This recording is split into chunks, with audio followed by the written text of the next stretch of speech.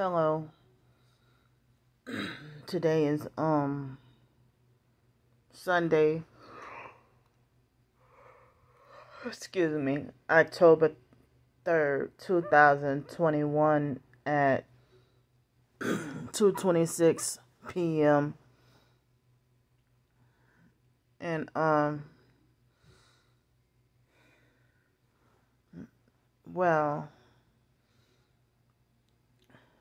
I woke up, it was 12:18 p.m. this afternoon. And I'm still tired, still sleepy. I, the past couple of nights I didn't even take my supplement, my magnesium supplement. but my sleep um I had a lot of hours of sleep and my body feels sore from working all week. My body, uh, you know, um, so I'm still, you know, tired and sleepy. I apologize for any noise y'all might hear next door. He's one of those older idiots that just like to have loud TV all day, every day, nonstop. So, any YouTube videos that I wanted to watch, um, I can't. I can't really watch without being disturbed by him and a loud TV. That's why I hate having neighbors, you know, whether it be a apartment house, hotel, motel, wherever. You know, I hate roommates and neighbors. TV has ruined this world, you know. Loud TV and loud music. And I don't know if he's a perp or not. Well, last night he was sitting outside playing his guitar, but um I had to put my earbuds in. You know, um so you know, after he played his guitar, it was the moment I was getting ready to take a shower and that's when he starts with the loud TV. So I just couldn't wait to get out of the shower. And then I had to go and ask him to turn his music down. I mean, his TV down, you know. That your TV is that loud that you can't hear anybody knocking on the door. That's just freaking inconsiderate and selfish. And the fact that somebody next door gotta be, you know, have that inflicted on them. That's, and I think that could have been him smoking because when I came home yesterday evening, well, at this motel, when I came here, my room smelled like a whole bunch of cigarette smoke. so,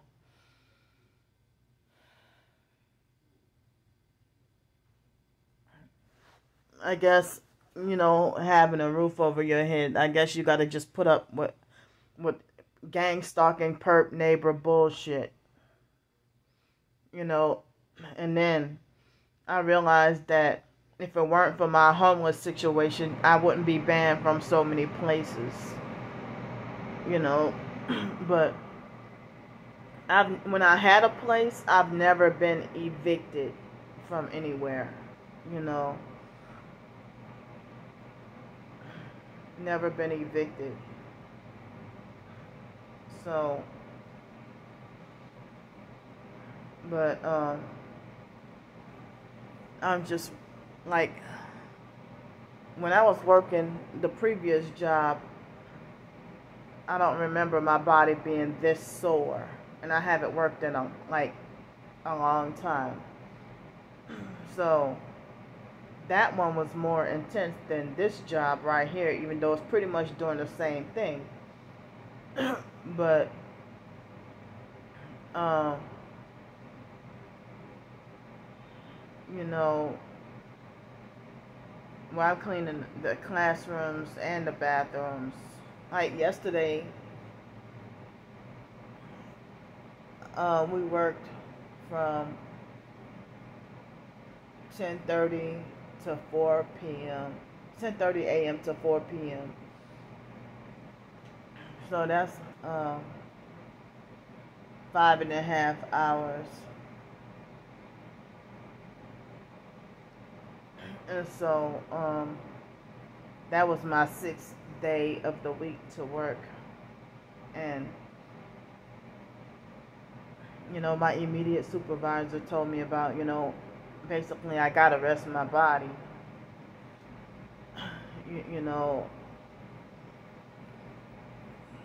so today I might have some emergency and laundry to do because wow I didn't realize until yesterday that they had blood stains on like I didn't even take any pictures or videos but they had blood stains on the um, shower curtain but that was just cheap cleaner that I bought under two dollars. I didn't realize it had bleach in it, and um, so well, it sprayed everything white. but um.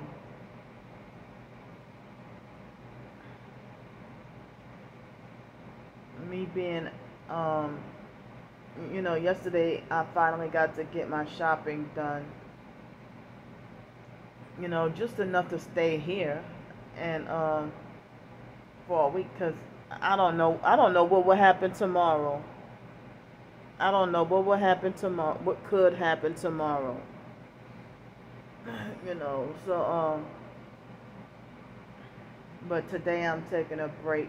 I mean, a rest from everything I mean, I, my, I know I, I mean, I guess my body needed that extra sleep. And I still feel like I need some more. So I've been just in here all day. And, um,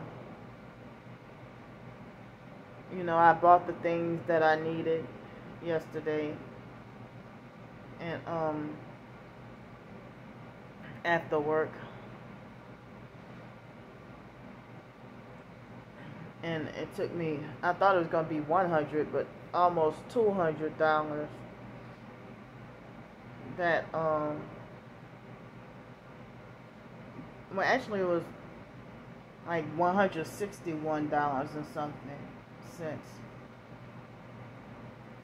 you know I mean me trying to find the cheapest pair of pants I could afford I mean having the cheapest pair of pants and then the black lint from the black pants get all over everywhere. And I got this shirt for under five dollars. I got the two pairs of pants for under um, ten dollars each. And so I also got um, let's see. Well, I bought two bras. I got a pack of socks, a, a pack of um, underwear, you know, and, you know, a few other little important things. And, you know, I got me some granola cereal. So even though it was the afternoon,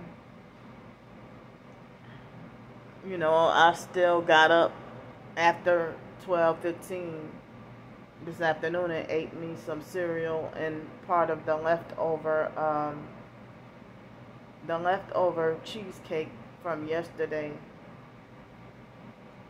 I didn't too much like that cheesecake. I didn't like it.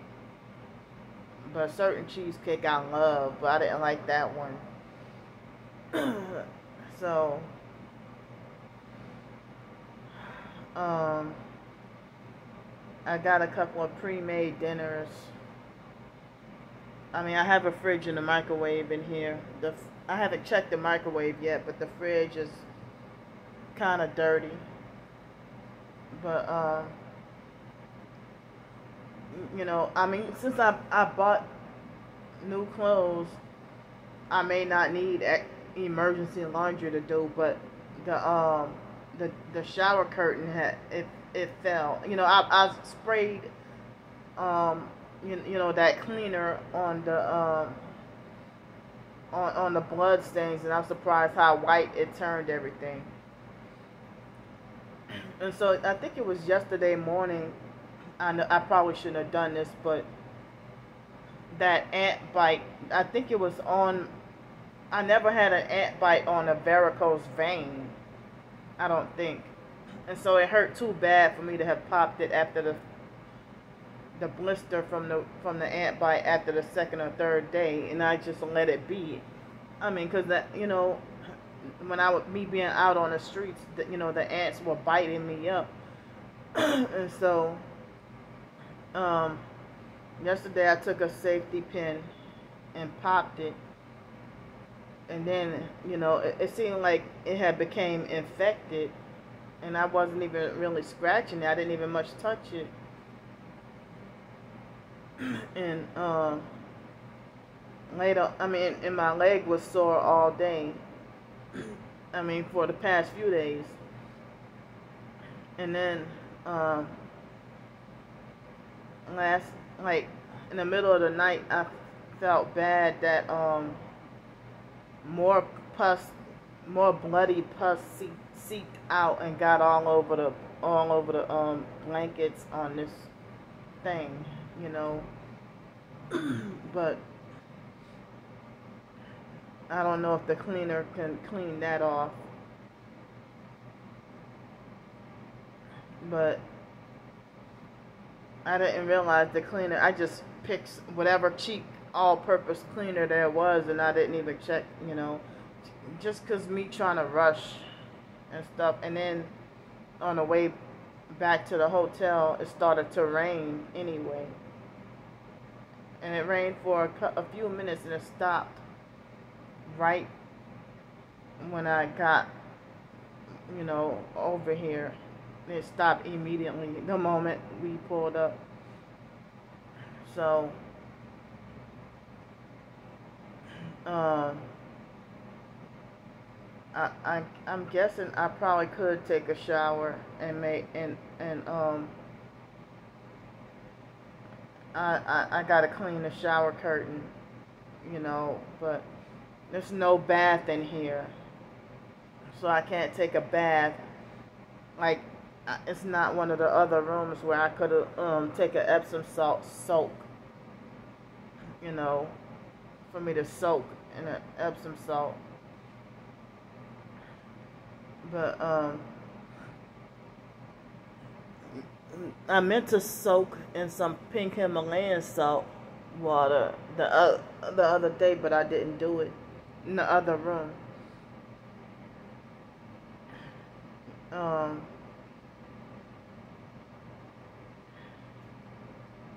so yeah, me working six days, and then tomorrow morning, or like tomorrow late morning, early afternoon, I have a lot of errands to do before work. I'm not used to this working six days and then have, um, you know, one only one day off. I'm used to working five days and having two days off.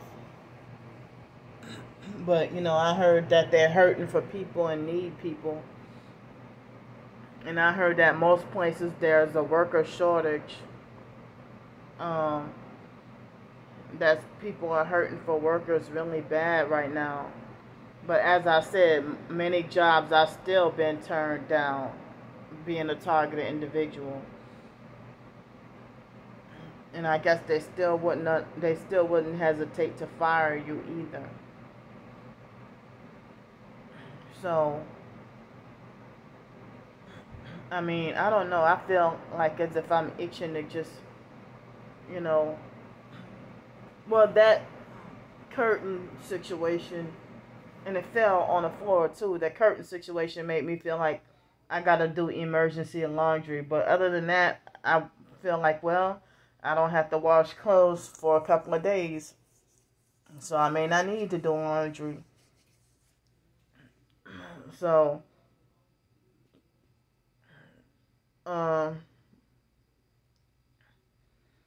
me having you know, my OCD, obsessive compulsive disorder, you know, make things kind of challenging. And I'm trying what I could to work through it.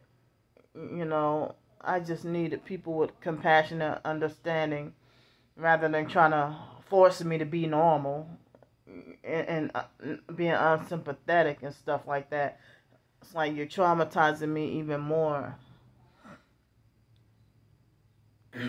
but um I'm thankful and glad to not have to be downtown. you know, I'm away from downtown. but right now I'm feeling depressed. I'm feeling like emotionally depressed and um lonesome and depressed, you know, having not really any other targeted friends to talk to or nobody really to talk to and just going through this alone and by myself. You know, um it's crazy how a whole bunch of I think I may have said this in another video about how a whole bunch of outcasts are reject, considered rejected from society or kicked out of society or banned from society. and then they form a, a clique group or cult or whatever. And then some of them have elitist mentality. And then kick others who are supposed to be outcasts out of their clique and make them feel like an outcast from the clique. So it's like the worst nightmare to be rejected from the so-called TI community and going through this yourself and nobody believes you and either even other people who claim to be going through the same thing they don't they turn everybody against you and make everybody hate you you know um yesterday evening i think it was they had these perps drive by in a brown light brown malibu and in the back of the driver's seat um in the back seat. Somebody the passenger in the back seat was had their arm hanging out of the window. Like when they passed right by my room and i was airing the my room out you know from the smell from spraying the spray and stuff. And um so my my immediate supervisor she had um calculated that $15 both ways for an Uber to get over here from downtown that that's um like a hundred about a hundred eighty dollars a week. So she said that, you know, it was good for me to have this motel room for a week, you know, and I can have a shower, um, you know, a place to sleep, a shower, laundry, I can walk to the job about, I'll say about 10 minutes or less walk to the job. It's very close, two blocks away. Um, and they got the grocery store right across the street. And they got a lot of restaurants around here. Um, so I didn't even calc- I didn't even realize that if I work six days a week and I'm downtown, you know. And I'm not in Maine. I'm I'm not saying what city I'm in, but the perps know where I'm at. I don't have to tell my business or say nothing. But the perps know where I'm at, but I'm not in mainland Pensacola. I'm not I'm not in mainland Pensacola. In fact, I'm in a different county. I'm in a different county. This is not even Escambia County where I'm at. So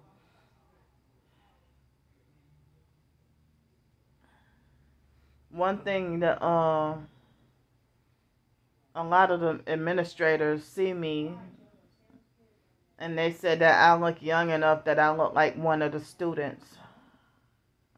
And I guess me carrying around a book bag, they also think um they said that they thought I looked like one of the students. Like I can blend in very well. I'm 38 years old. I remember when I was 30 and everybody thought I was 11 or 12. And they said I actually looked like I was 11 or 12 when I was 30 years old. Now I'm 38 and still get told that I look like a child, look like one of those kids. But I think some of the kids walking around the school look like adults. You know, they look older. So, hmm, that's one disadvantage if people think I look so young. So then people who are teenagers think that they can bully me around and boss me. And I'm like, well, I'm old enough that, you know, if I'm I'm I'm 38 years old, so that means that I'm I don't have any kids at all, and which I wish I did. You know, uh, I wish I had been married with kids, but I'm 38 years old, and I'm old enough that I could have offspring that can be like 18, 19, 20 years old, or even a little older. So, how dare any anybody who's 14 years old who think that they can order me around and tell me what to do? And then society makes like that that person has more common sense than me, and that I should listen to and obey that what that 14 year old tells me to do. And you know, people automatically assume that because I'm homeless, then they automatically assume that I'm crazy and I need a caseworker or a case manager or that I'm um you know mentally off and slow like something's wrong with me the moment they find out oh you're homeless. Like the day before yesterday I felt offended because um one of my coworkers temporary coworkers, you know, she asked me, "Why don't you get a caseworker?" I don't trust social workers, K work, case workers, case managers, caseworkers, social workers from foster care and the mental health system. I don't trust none of y'all. You know. So I don't know how long this you know job opportunity for me will last. As I said, I don't know how long it's going to last for me or how long I get to stay here um, and be off the streets. You know, as I said, I never know. Nothing lasts long for a targeted individual, seems like. But then anything bad that happened to me people will make it like it's my fault or I brought it on myself. Even if the worst would have happened to me. Um so I, you can still hear that idiot's TV. And look, can you see that bathroom? No curtain. I'm disturbed by that. You know, um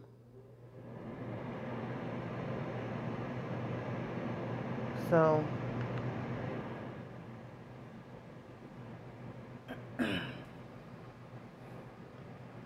I gotta have these in. It would be a great big help if the air conditioner would stay on constantly rather than turning off and on because then that can filter out certain noise as well. Yeah, I've been just feeling lonesome and depressed and feeling high anxiety and lately, especially with um preparing thinking about preparing for um you know preparing for end times, you know, I'm feeling scared about that. So I gotta go for now.